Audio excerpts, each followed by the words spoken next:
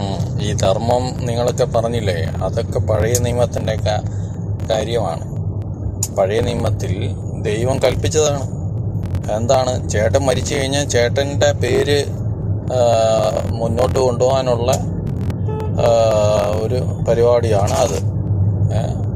ചേട്ടന് വേണ്ടി കുഞ്ഞ് കുഞ്ഞിനെ കുഞ്ഞിനെ ഉണ്ടാക്കുക അത്രേ ഉള്ളൂ. അതിലെന്താ പ്രശ്നം? ചേട്ടന്റെ പേര് തന്റെ ജീനിയോളജിയിൽ വരാൻ വേണ്ടി അതുണ്ടാക്കണം. അത് ദൈവം കൽപ്പിച്ചാണ് അത് ഞങ്ങൾക്കൊന്നുമില്ല. അത് ഇസ്രായേലിന് മാത്രമുള്ള കാര്യമാണ്. കേട്ടോ? ആ കുടുംബം ജീനിയോളജി എന്ന് പറയുന്നത്. അതുകൊണ്ടാണ് ബൈബിളിൽ നിറച്ചും ജീനിയോളജീസ് ഉള്ളത്. ഖുറാനിൽ അങ്ങനെയൊന്നും ഇല്ലല്ലോ. അതാണ് പ്രശ്നം.